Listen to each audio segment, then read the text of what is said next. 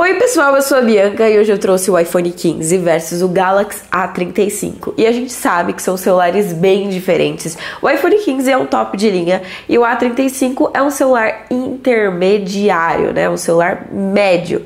Quer dizer, era para ser. Agora vamos ver aqui, vamos comparar. Bom, começando pelo design, o iPhone 15 ele é fosco e o A35 ele é espelhado. Só que os dois são de vidro. É isso aí, os dois são de vidro. O iPhone 15 tem duas câmeras traseiras, o A35 tem três. Dando uma volta aqui por eles, ó, aqui a gente tem o botão Power no iPhone 15, o botão Power e o botão de volume no A35. Em cima a gente tem a gavetinha para o chip no A35, né? Inclusive você pode colocar dois chips, um chip e um cartão de memória. E nós temos aqui também é, microfone. No iPhone 15 não tem nada em cima. Desse lado de cá não tem nada no A35, mas é aqui a gavetinha para o chip no iPhone e você só pode colocar um único chip físico. Aí você pode baixar aqueles chips virtuais, mas físico é só um, tá? Aqui são os botões de volume também.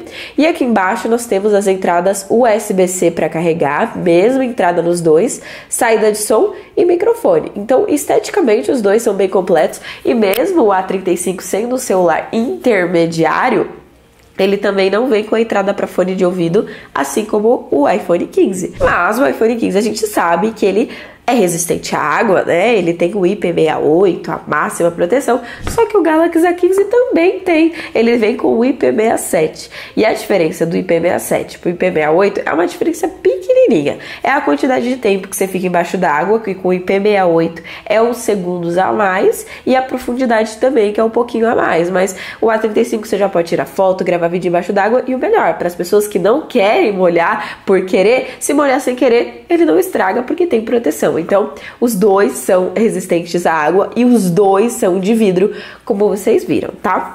Aqui nas nossas telas, a gente tem no iPhone o Face ID e no A35 a impressão de digital na tela. Então, são telinhas rápidas, né, para desbloquear. O iPhone tem uma tela OLED de 6.1 polegadas e tem um note inteligente aqui na parte de cima da tela. E o nosso A35 tem uma tela de 6.6 polegadas, então ela é bem maior do que a tela do iPhone e ela é Super AMOLED. Bom, OLED e Super AMOLED não são a mesma coisa. Porém, essas duas telas têm muitas coisas parecidas e muitos benefícios em comum. Um desses benefícios é a qualidade da imagem. Você sabia que o A35 tem exatamente a mesma qualidade de imagem do iPhone 15? exatamente a mesma, não tem diferença nenhuma. E as duas telas também têm economia de bateria. Quer dizer, mesmo que você esteja mexendo no seu celular, através dessas telas, você vai ter economia de energia. Então, peraí, você tá falando pra mim que o Galaxy A35, que custa R$ 1.400, tem a mesma tela do iPhone 15?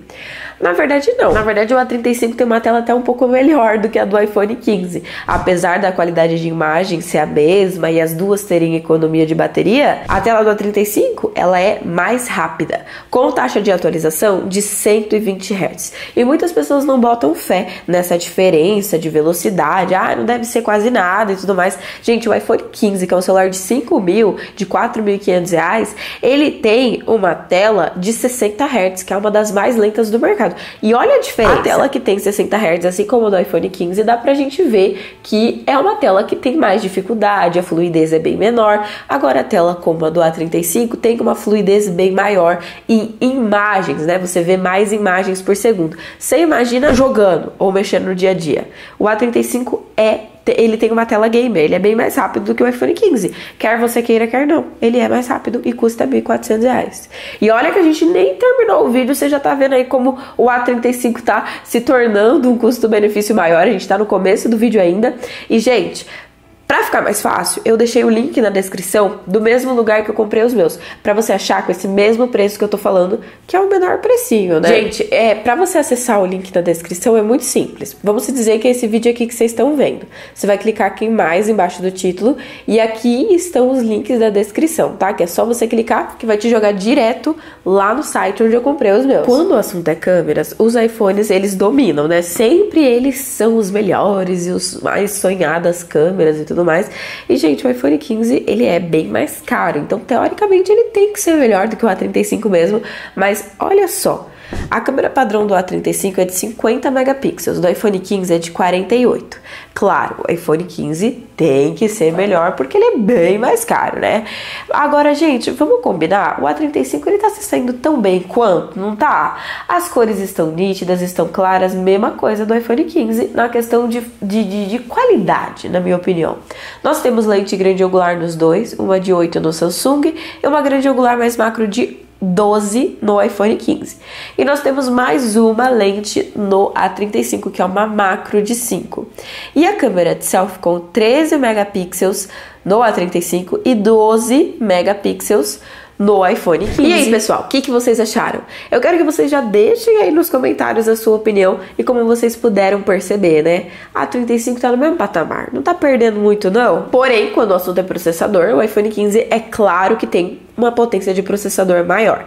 Só que eu vou fazer o seguinte, eu vou abrir o jogo, o mesmo jogo dos dois, pra gente ver essa diferença aí, se tem, qual que é essa diferença também, né? Eu abri aqui o Call of Duty, que é um dos jogos mais pesados, eu abri primeiro no iPhone. E ó, a gente vai jogar com tudo no máximo, né? Não esperaríamos menos que isso, já que ele é um top de linha e vem com o processador do A16 Bionic, que é o mesmo processador do iPhone 14 Pro então é um excelente processador, um dos mais potentes de 2024. Só que o que surpreende é isso aqui, gente. Eu abri exatamente o mesmo jogo no A35 e olha Tudo só. com qualidades altas também. Gente, é um celular de 1400 e ainda você vai ter uma, uma velocidade maior, com uma tela mais rápida e uma tela maior também para jogar. Gente, qualquer jogo, qualquer tipo de jogo. Esse daqui é um dos mais pesados, tanto da Play Store quanto da Apple Store. Qualquer jogo você vai jogar com qualidade alta no Galaxy A35 qualquer jogo.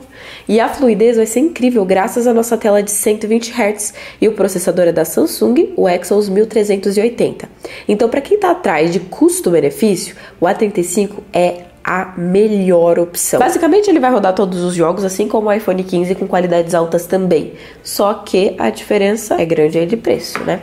E como vocês puderam ver, são dois celulares bons, o A35 não perde, porque ele é, é, ele é resistente à água, ele é de vidro, ele também tem câmera boa, ele também grava vídeo em 4K, ele também tem uma tela com economia de bateria, melhor qualidade de imagem, ele tem uma tela mais rápida do que a do iPhone 15 e ele também tem uma bateria maior de 5000 mAh. E bateria de Android é difícil ter um iPhone que bata. apesar da bateria do iPhone 15 durar o dia inteiro, ela é de 3877 mAh, que dura o dia inteiro? Dura. Porém, o A35 tem mais de 24 horas de uso com 100% de bateria, então você pode usar até por por dois dias sem colocar para carregar se você tiver um uso maneirado, entendeu? Agora com uso maneirado o, o iPhone 15 chega até o final do dia, entendeu? Aqui vai dois dias. Então o A35 ele tá compensando como um custo-benefício maior. Não é que ele seja melhor do que o iPhone 15, mas ele compensa bem mais. Convenhamos, né? Comentem o que vocês acharam, deixa o likezão e não esquece que os links mais baratos estão aí na descrição.